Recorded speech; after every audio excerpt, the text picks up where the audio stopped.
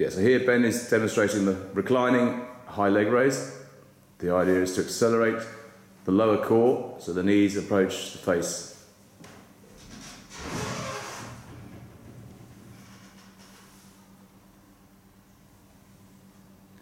Thank you, Ben.